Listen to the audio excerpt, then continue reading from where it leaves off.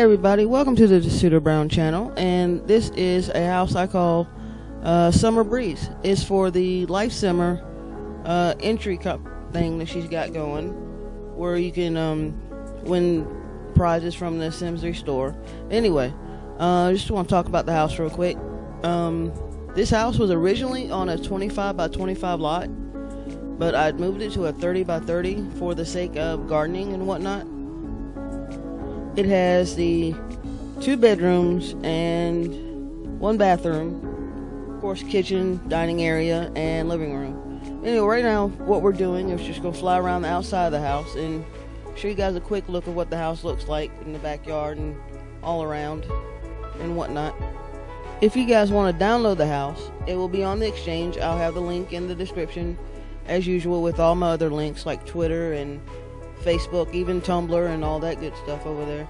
Um, actually, do I have a website, but I haven't attended to it in so long, so it's it's probably not worth looking at. Just saying. Anyway, right now we're going to head inside the house to the first floor, and the first thing we're going to see is the small living area. It's got just a television and the couch and one of the chairs. It's also got a small pet area out here, so if you have like a cat. They're set up for a cat, obviously. But um, right now we're just gonna go into the bathroom. Is the only bathroom on in the house. It's small. It's just got the basic stuff in it. Well, actually, you know what? Now I think about it, it's not the only one. The master bedroom has the bathroom. Sorry, it's two bathrooms in this house. Anyway, but as you can see, it's it's bluish. And what we're gonna do now is gonna go into the kitchen. I ended up having so much trouble in this kitchen with like color schemes and stuff, so if you guys download the house and want to change it up, I understand. Anyway, I do like the view out the back. That way you can see the uh, water and the pool and whatnot. Other than that, it's, it's all right. It's you know it's a kitchen. Um, then we go back out and around, and we're gonna go to the laundry room, which is really small. It's just a two by two room. It's got the washer and the dryer, and that's it. So now we're gonna go upstairs and then we're going to see what it looks like up here.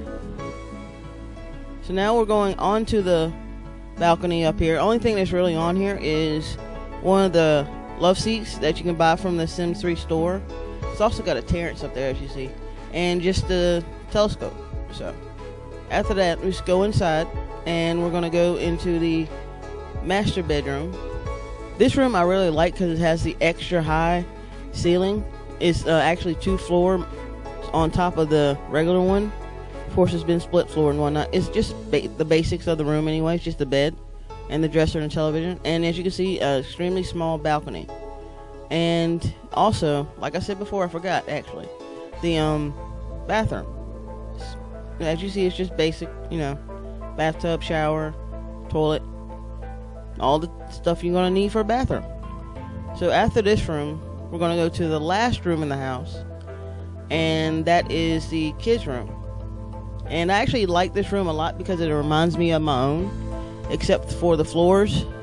I have a beige carpet in my room, and pretty much everything else is the same. My, my desk is black, my bed is pretty much black, and television and the rest of it. And I really like this room. I don't have really that many posters. Actually, about seven posters in here, so actually I did do have that many posters. It's kind of weird. Anyway, that is it for this house. We're just gonna go back downstairs and actually what we're gonna do is gonna look around the back of the house. It's so you know, it's a bit closer to it anyway, instead of just flying around. It's always nice to see every once in a while what your Sims actually see. So we're just gonna go back here and as you can see there's a gigantic tree in the way that I probably should have moved back just a little bit. But um anyway we have the big pool, the little lounge area. You can see the garden over there and it's right close to the beach, so I'd love to stay in this house. And of course, you got the little kids areas, you know, just the playground and whatnot. So if you want to change the house around, you can actually put a bunk bed. I would recommend in the kids' room. That way, you can have four Sims in this house. But anyway, um, I'd like you guys to subscribe to this channel if you like the video. If you want to uh, hit that like button, it'd be doing me a huge favor. And um, I'm glad you watched this video if you enjoyed it. You know, like I said, subscribe. And I'll see you guys in the next video.